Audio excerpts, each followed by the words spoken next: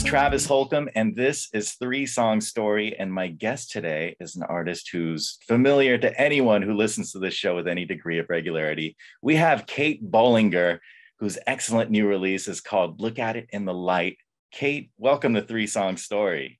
Thank you. The idea behind this segment is to try to get to know you through three song selections that you've brought us. And we ask you to bring us something old, something new, and something of your own. So let's start with something old. You brought us a song by an artist named Elyse Weinberg. This is Nicodemus. Please don't in my hour of need. Right. So, what can you tell us about that track?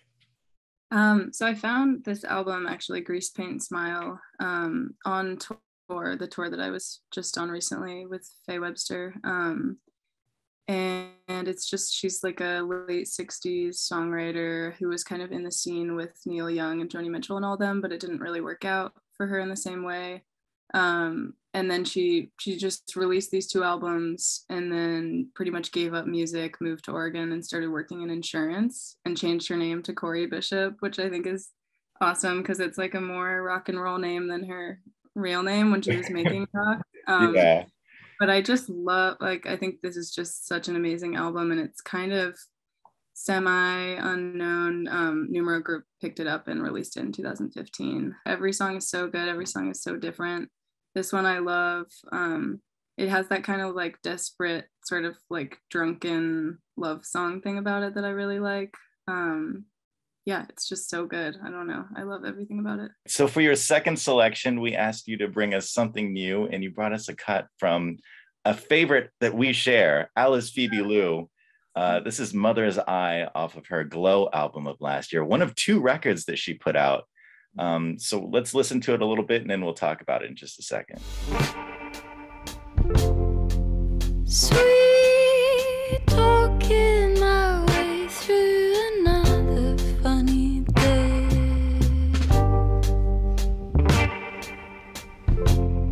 I'm not here. One of the things that I feel like you guys have in common is like there's a very subtle funkiness to the instrumentation of both Alice Phoebe Lou's work and yours. Um, where does that funk come from? At least from your on your end.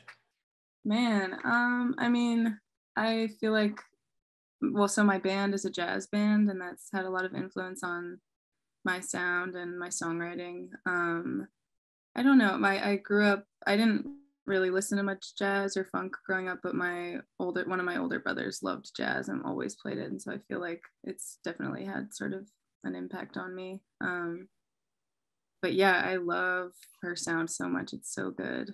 Um, yeah. I feel like she touches on a lot of similar themes in that track that you also sing about in your songs. Yeah, I think that's why I like it so much. Maybe, I mean, that whole album just kind of feels like a diary entry or something, which is sort of how I approach songwriting too. So it, I feel really close to a lot of the lyrics in those songs. So you have an older brother? Mm-hmm. Yeah, I have two older brothers. One of them is here. Actually, I'm at my mom's house right now. How? I mean, like, was he influential in terms of turning you on to new music, or were you guys on separate tracks? Uh, yeah, both of them were really like. I feel like my music taste is pretty much because of both of my older brothers. I was gonna bring one of those songs from Tragic Kingdom, the No Doubt uh-huh. album because um, I remember I have a really clear memory of getting the Lizzie McGuire soundtrack from my mom for my birthday, um, and also getting Tragic Kingdom from my brother because I was like obsessed with pop music, and then they were kind of like trying to turn me on to stuff that they thought was cooler. Um, yeah, so that's sort of how I got my. So, so Gwen Stefani was the original blueprint for you, your original diva.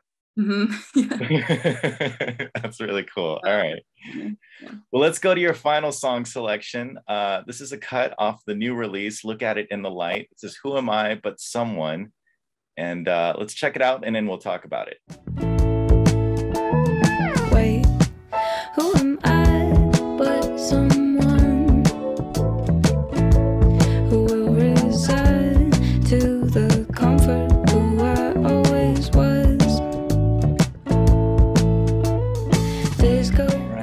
Was Who Am I But Someone. What can you tell us about that song?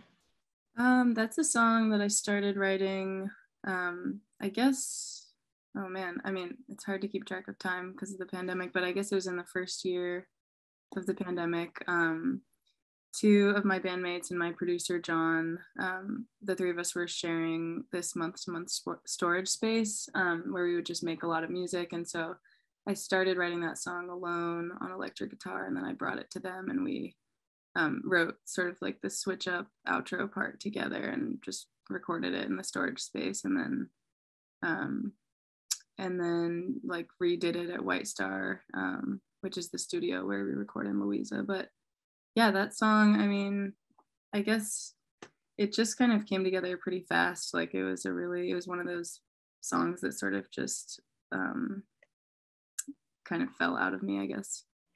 I my interpretation of the lyrics was that it's sort of like about working really hard and not really feeling like you're advancing. Is that fair to say? And was it inspired by the pandemic?